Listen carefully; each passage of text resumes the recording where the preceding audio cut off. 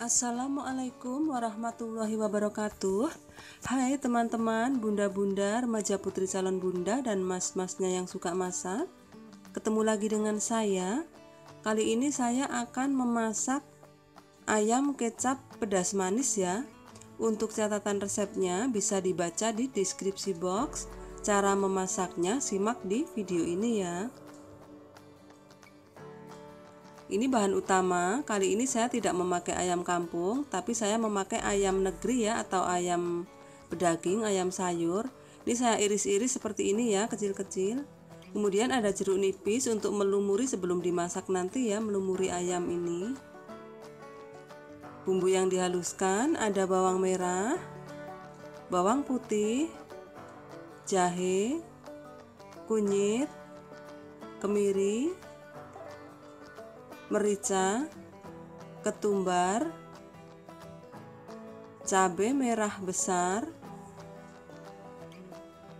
cabai rawit. Ini untuk tingkat kepedesannya selera kalian aja ya. Jika suka pedas bisa ditambah, kurang suka pedas bisa dikurangin. Ini nanti semua dihaluskan ya. Kemudian ada daun salam, lengkuas, daun jeruk, serai yang udah saya geprek tomat nanti diiris-iris garam gula pasir bisa diganti gula merah selera kalian aja ya kalau saya pakai gula pasir ini. Kaldu bubuk kecap minyak goreng dan air secukupnya ya Oke teman-teman, mohon dukungannya. Jangan lupa subscribe bagi yang belum. Kemudian like dan komen. Aktifkan tombol lonceng agar tidak ketinggalan video saya berikutnya ya. Ini saya blender aja untuk bumbu yang dihaluskan biar cepet. Kalau kalian suka ulek silahkan ya diulek.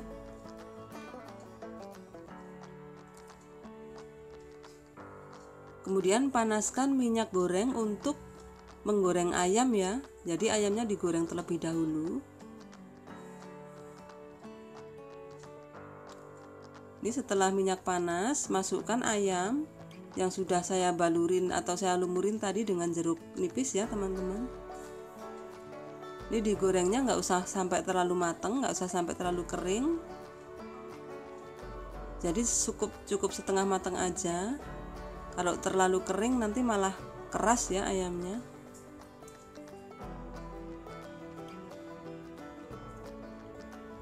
Ini dibalik agar matangnya merata ya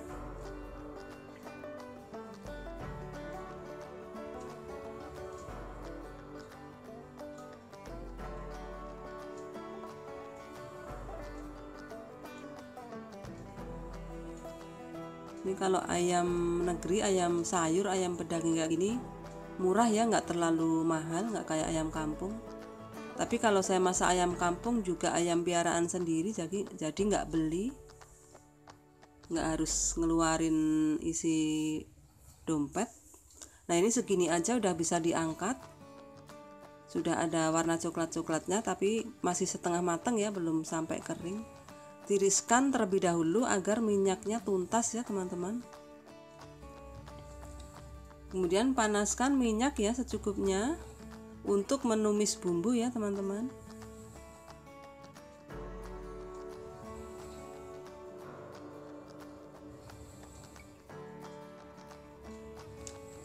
Ini kalau minyak udah panas bumbu dimasukkan ya ditumis terlebih dahulu Oh ya untuk catatan resepnya bisa dibaca di deskripsi box. Caranya itu di samping kanan judul video ada segitiga kecil menghadap ke bawah. Nah itu diklik kalau sudah menghadap ke atas. Layar digulir, digulir atau di scroll ya ke bawah. Nah di situ ada catatan bahan-bahan atau resepnya ya teman-teman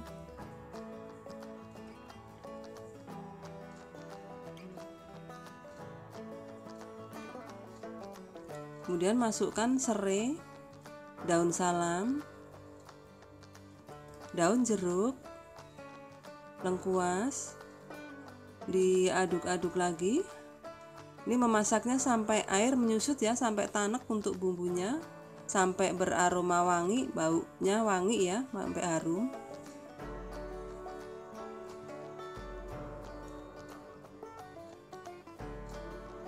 kalau nggak tanek nanti ada bau langu dari bumbu mentahnya ya teman-teman. Ini air sudah menyusut sudah wangi banget harumnya baunya.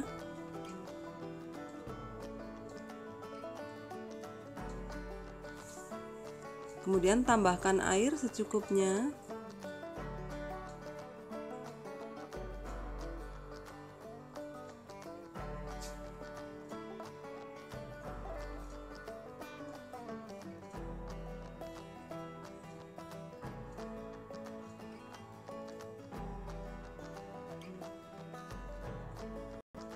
masukkan garam gula pasir. Ini ini bisa diganti gula merah ya selera kalian aja. Kalau saya pakai gula pasir kaldu bubuk.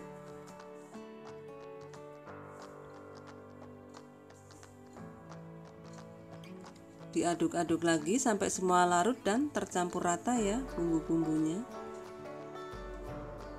kemudian masukkan ayam yang sudah digoreng setengah matang tadi ya teman-teman bunda-bunda.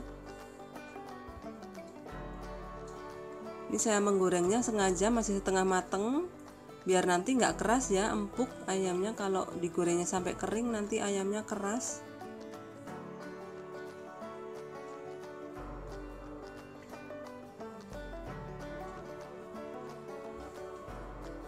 Masukkan tomat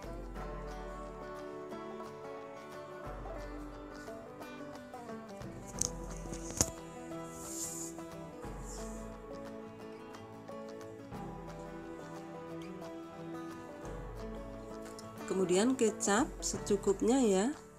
Selera kalian aja mau seberapa banyak.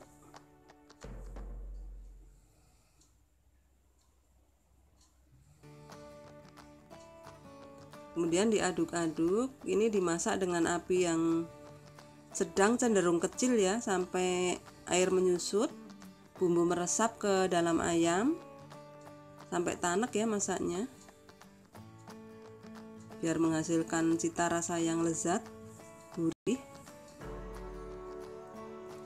Nah ini udah hampir mateng air sudah menyusut. Bumbu juga udah meresap ke ayam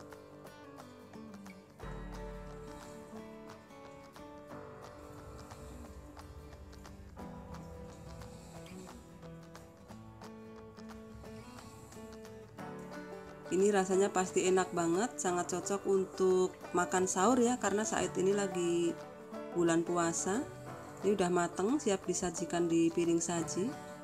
Kalau pas lagi nggak puasa juga sangat cocok untuk sarapan pagi lauk makan malam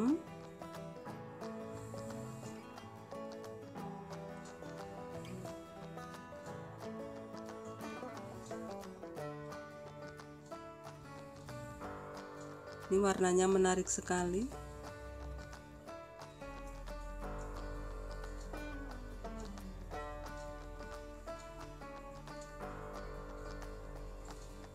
Oke teman-teman, bunda-bunda, remaja putri calon bunda, juga mas-masnya yang suka masak. Demikian tadi cara saya memasak ayam kecap pedas manis ya. Ini sangat cocok sekali untuk makan sahur, kalau lagi nggak puasa juga untuk sarapan pagi, makan malam. Memasaknya mudah, praktis, ramah di kantong karena ayam pedaging, ayam negeri, ayam sayur nggak terlalu mahal ya, nggak semahal kalau kayak ayam kampung. Terima kasih sudah menonton video saya sampai selesai. Sekali lagi mohon dukungannya, jangan lupa untuk subscribe sebagai yang belum. Kemudian like dan komen. Jangan lupa aktifkan tombol lonceng agar tidak ketinggalan video saya berikutnya ya. Semoga video ini bermanfaat. Silahkan dicoba resepnya. Terima kasih. Wassalamualaikum warahmatullahi wabarakatuh.